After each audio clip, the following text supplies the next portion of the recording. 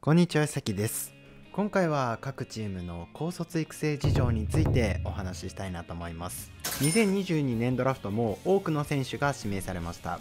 毎年高卒、社卒、大卒と多くの選手がいろんなところから指名されます。で近年は育成で大量の素材を指名するというチームも多くなってきています。ただやはり打者で育成から主力というのは簡単なことではありません。高卒選手はロマンはありますがある種諸刃の剣的な要素があり粗さを削れないまままたプロの壁に苦しんでというケースも少なくありません。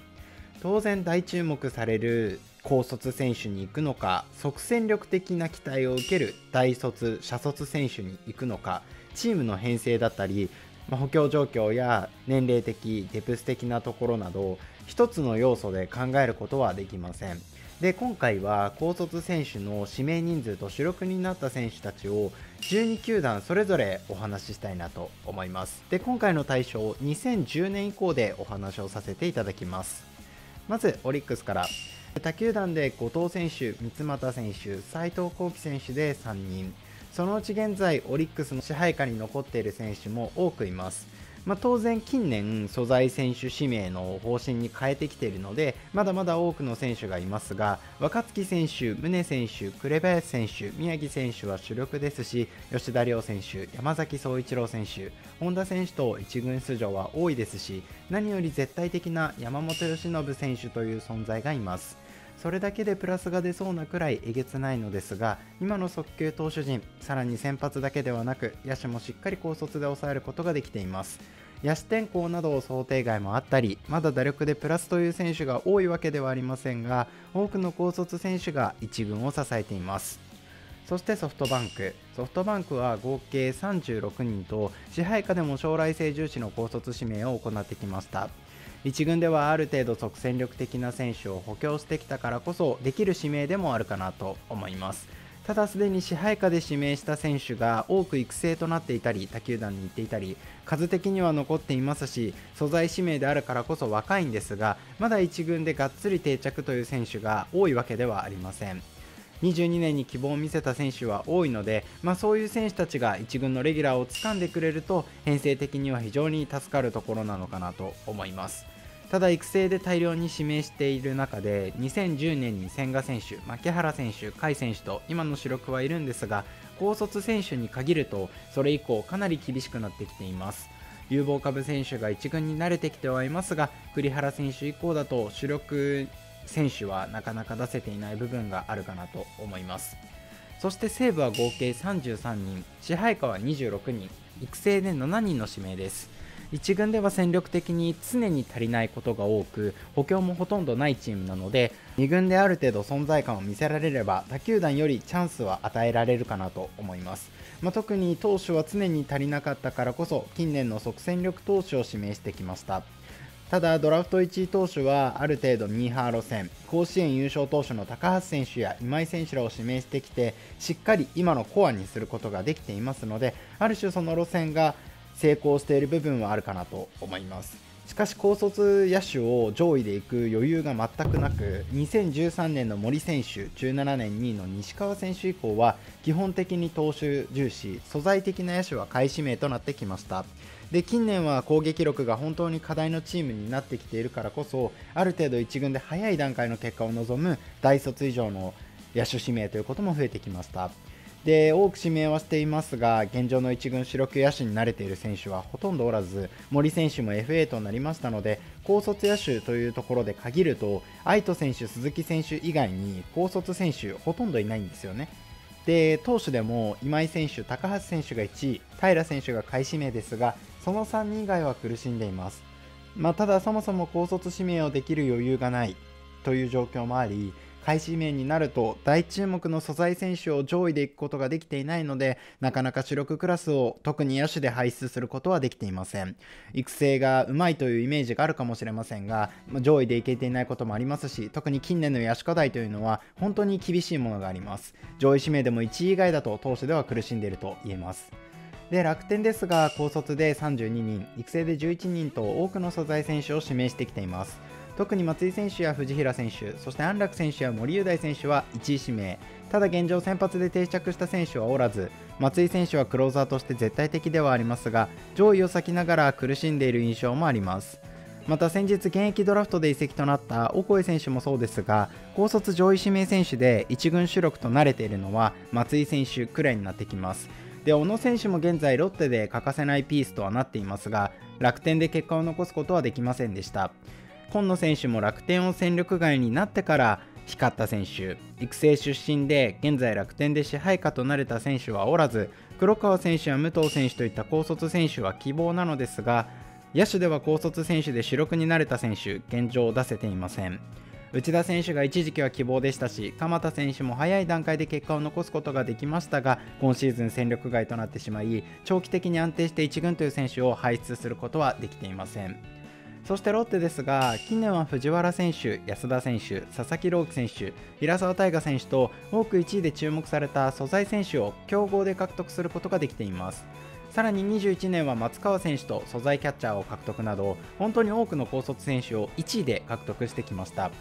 チーム全体で火力課題に陥っていて日本人選手で他球団の打力をプラスを出せるという選手がなかなかいないからこそ1軍で即という形でなくても、まあ、将来的なコア候補を獲得してきているのかなと思います。ただ平沢選手や藤原選手が少し苦しんでおりまだ1軍主力とはなれていません。ただ投手に関しては1位の佐々木朗希選手はもちろん素材型の指名だった種市選手岩下選手二木選手を先発で戦力化することができています。特にロッテは素材型高卒右腕を一軍戦力化することはかなり長けているチームなのかなと思います、まあ、野手では少し苦しんでいますが22年後半には安田選手が良さを見せ山口選手が大砲候補として一軍で光を見せられているのはかなり希望でもあるのかなと思います。ロッテは全体的に補強が多いというわけではありませんし近年は課題の長打を助っ人でカバーし2年連続2位と上位で戦うことができていました。ただその助っ人が全員入れ替えとなる2023年シーズンはこういう高卒組の戦力化というのがチームの鍵を握ってくるかなと思います。そして日本ハム大谷選手や清宮選手、吉田康生選手や堀瑞希選手、渡辺選手と外した結果という選手も多いんですが数多くの高卒選手を1位指名してきました。特に大谷選手や清宮選手、吉田選手のように高い注目を受けた選手をミーハー的に指名ということも多くありました。外してはしまいましたが根尾明選手や高橋純平選手小笠原慎之介選手や高橋周平選手松井裕樹選手や佐々木朗希選手と多く指名してきた選手を見れば路線は明らかかなと思います。開始名でも注目度が高かった少し荒さがありながらかなり注目をされていた選手を獲得。山口裕次郎選手は指名しながら獲得することができなかったりもうチームにいない選手も多いですが特に近年は高卒選手を多く指名してきて、まあ、その選手がある程度の段階から結果を残すことはできています。大谷選手はもちろんすごいんですが10年の西川選手11年の松本選手近藤選手上沢選手14年石川選手18年野村選手万波選手。20年根本選手ら多くの選手が1軍で結果戦力となることができています。まあ、ただかなりチーム全体が循環が早く多く移籍などがあることさらに若手で2軍でアピールしたり2022年に関しては新庄監督の積極的なトライアウト起用ということもありかなり多くチャンスを与えられました。またトレード等も積極的ではありますので多く指名された高卒選手で渡辺選手石川遼選手太田健吾選手平沼選手高浜選手らは他球団でまだ支配下で戦っています。ミーハー的に多く指名しある程度戦力化することはできているかなと思います。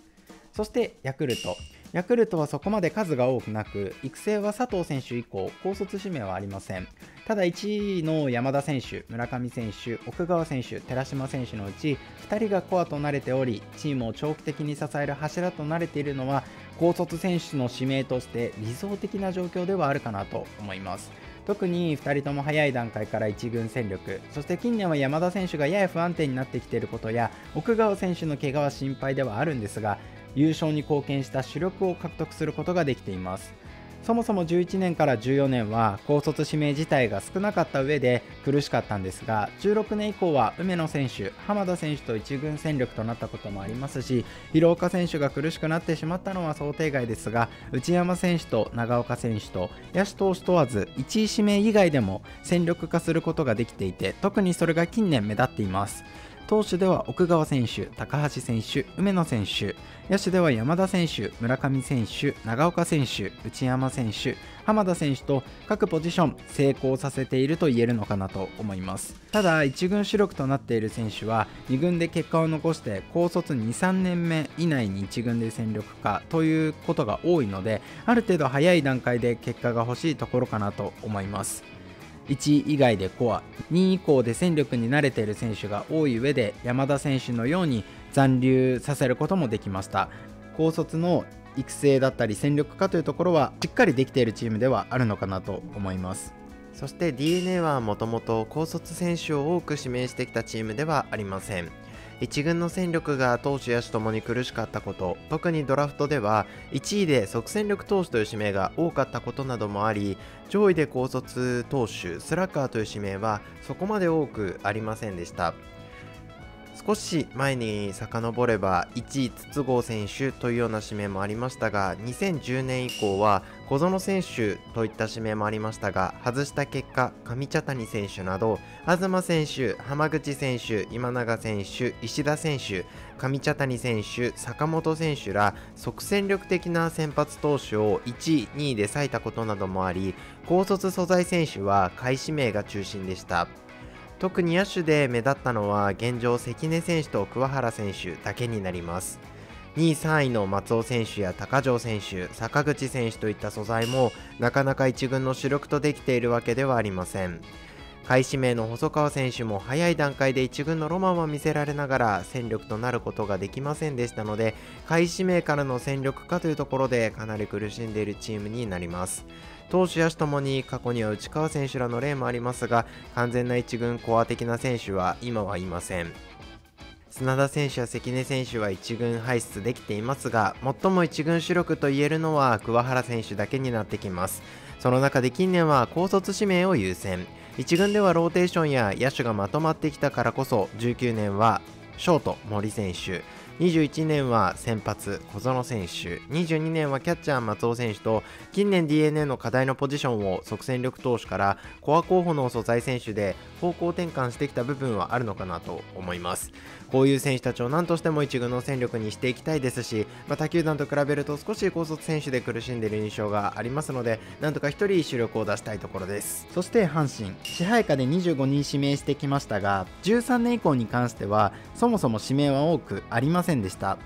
藤波選手は高卒1年目から3年連続2桁と素材型というよりは素材型即戦力的な活躍だったんですがそれ以降かなり野手で苦しんできました。望月選手は早い段階で結果も現状は苦しみ育成となっていたり佐伯選手も怪我がありました。ただ近年はその復活を遂げた佐伯選手西純也選手と素材的な選手が1軍で早い段階で結果となっていたり及川選手も2年目に1軍で登板でき浜地選手も今季大ブレイク。野手はかなり寂しいところですが素材投手に関してはかなりハイレベルと言えます。ただそもそも指名が少なかった上で苦しかった阪神の高卒野手ですが井上選手、小畑選手、遠藤選手、藤田選手前川選手、高寺選手、中川選手と22年2軍でアピールできた野手が増えてきました。というより高卒選手を野手であまり指名してこなかったことで2軍がどんどん高年齢化していた中で行われた19年の高卒乱獲が本当にチーム全体の若返りを引っ張ってくれています。まだ1軍で結果となっていない選手も多いんですがしっかりこれからの素材を多く確保できたことで2軍運用やチームの若返り的にも本当に健全になっていったかなと思います。阪神はある程度補強をしてくるからこそ中堅を超えて1軍に出る必要があります、まあ、だからこそ今なる大浜の若手には本当に大きな期待もありますしこれまでの阪神とは少し異なってくるかなと思います。で巨人に関しては育成含めて大量の選手を指名してきています。ただ高卒選手で育成選手が支配下をつかんだということはありながら今も支配下で残り外せない存在になっているという選手はいません。もちろん高卒以外ならいるんですがなかなか難しいところです。支配下でも1位の岡本選手以外で2016年以前の選手今も巨人に残っている選手はいません。当然田口選手は巨人でもしっかりと戦力になってくれましたし宮國選手や市岡選手奥村選手や和田選手平選手や高田芳成選手はまだ他球団で支配下で残っていたり巨人でもなかなか出場できませんでしたがまだまだ戦力となることはできています。で直江選手や井上選手堀田選手らは怪我もあり育成を経験した選手もいます。特に巨人は積極的に補強を行っているチームでもありますので支配下枠争いも熾烈です。開始名から戸郷選手が先発の柱となっていたり岡本選手も5年連続30本の手法になっていたり支えてくれているコアがいるんですが大量の指名を行っていながら今の1軍戦力に慣れている選手が少ないというのは本当に苦しいところかなと思います。特に13年の指名選手が全員残りながら1人も自チームにいないというのは想定外だったところなんじゃないかなと思います。そして広島も多くの選手を指名してきました。MLB へ移籍となった日本最高クラスの右バッターでもある鈴木誠也選手を高卒で獲得できたのは3連覇に大きくつながってくれました。少し前ですが丸選手も高卒ドラフトです。高橋宏樹選手が1位指名ながら苦しんでしまったのは想定外ですし、まあ、近年だと中村翔成選手も苦しんでいる印象があります。ただ小園選手が今は打力で他球団を超える大幅なプラスではないながら広島には欠かせない存在。1位以外でも坂倉選手は首位打者争いに加わるようなバッターとなることができています。投手で今は苦しんでいますが3連覇を支えたクローザーの中崎翔太選手を獲得できています。まあ、ただ補強を積極的に行っていないチームであることさらに先発課題もあり野村選手大瀬良選手や栗選手薮田選手や岡田選手ら即戦力投手を上位指名して積極的に起用してきました。で近年は栗林選手森下選手と2年連続新人王を獲得するような即戦力投手をチームの柱にすることができています。まあ、なので、チームとしては、投手は素材型というよりは、ある程度即戦力的な大卒以上の選手、中心の指名になってきてるかなと思います。で、2010年以降の1位選手が、福井選手、野村選手、高橋宏樹選手、大瀬良選手、野間選手、岡田選手、矢崎選手、中村翔成選手、小園選手、森下選手、栗林選手、黒原選手とほとんどが大卒以上なんですよね。なので、今年指名された高卒投手の斉藤選手、これ2010年以降で初めての高卒投手の1位指名なんですよね。で野手では高橋宏樹選手、中村翔成選手、小園選手らもいるんですが、大卒外野の野間選手を除き、もう基本的に大卒以上の投手だったので、斉藤選手をどうやって育てていくかというのは、個人的には注目です。で、高卒投手だと遠藤選手がこの中では目立ちますし、救援では堀江選手、中崎選手といますが、まあ、先発では希望を見せながら次のシーズンまで続くということがなかなかできていません。ただ玉村選手や小林選手はやはり来季1軍である程度しっかり投げたい選手かなと思っていますし個人的な期待もしております。で即戦力投手が活躍というケースも多いので投手は大卒中心になっている広島。今後というか今までも開始名中心だった部分はあるので仕方なかったかなと思いますが22年1位の斉藤選手かなり期待をしております。そして中日は強豪で高橋周平選手を引き当てましたがそれ以降は大卒以上の中心の指名特に14年は即戦力を大量指名も長期的な戦力となった選手はいませんでしたただ15年は小笠原慎之介選手、18年は根尾選手、19年は石川選手と強豪でコア候補の素材を引き当てることができています。根尾明選手が打者としてではなく投手としてとなったのは想定外ですが先発の柱を複数選手獲得することができていますし20年高橋宏斗選手がとんでもない2年目を過ごすことができました。石川選手も怪我に苦しんでいますが今季1軍で非凡さを見せることができた選手ではあるかなと思います。2014年以前だと高橋周平選手がアベレージタイプとして1軍戦力化。近年は少し苦しんでいますがベストナインゴールデングラブ2回と1軍の戦力であることは間違いありません。さらに15年以降は1位の小笠原選手高橋選手だけではなく開始名だった岡林選手藤島選手清水達也選手が救援で外せない存在と慣れていて土田選手山本選手石橋選手も戦力となることはできています。スラッガータイプとなるとやはり石川昂弥選手しかいないところがありますがここまで先発投手を1位でしっかりと獲得することができ野手でもショート土田選手外野岡林選手そして質の高いリリーバーを高卒からも育成することができています。石川翔選手、福島選手、竹内選手、柿越選手らが長期的に投げられておらず育成となったり柿越選手は一度支配下に戻りましたが現状福島選手以外支配下にいないということを考えると苦しいところは目立ってしまうかなと思います。で中日も補強が非常に少ないチームですのでドラフト指名選手には多くチャンスは回ってきますしかなり重要になってきますが、まあ、その中である程度存在感を見せることができた掴むことができた選手も多いと言えるチームかなと思います。全体としてはこんなところ。当然主力中の主力でもある山本選手や村上選手を獲得できているチームも強いんですがやはり柱を抑えた上で多くの選手を戦力化することができるというのが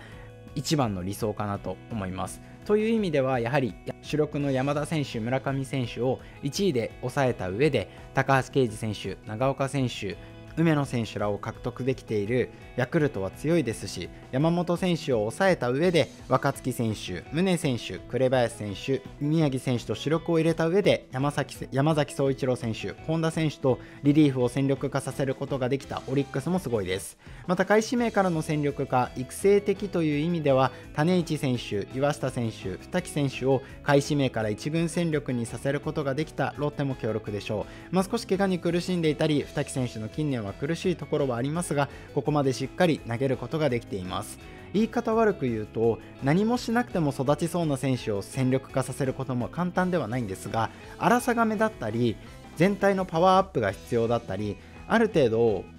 チームが底上げをしないといけない選手をしっかりと1軍の主力にさせるということはもっと難しいと思っています。柱の凄さで言うなら岡本選手戸郷選手の巨人。移籍となりましたが大谷選手近藤選手がいて今も上沢選手がいるハム高橋選手平選手今井選手がいる西武移籍となったんですが鈴木選手がいて今は苦しいんですがかつてチームを長く支えた中崎選手がいる広島。そして総合力の高さでいうと中日も相当かなと思います。ただ阪神や d n a はそもそも指名自体が少なかったり苦しんでいるという状況ではあるのかなと思います。まあ、ただ当然ドラフト上位で高卒選手を指名するということは成功すれば本当にチームにとって貴重なんですが諸刃の剣ではあるかなと思います。時間はかかりますし即戦力的に期待することは困難です。補強がないチームなら補充でもあるドラフトを補強と考えないといけないようなそんな状態のチームもあるんですよね。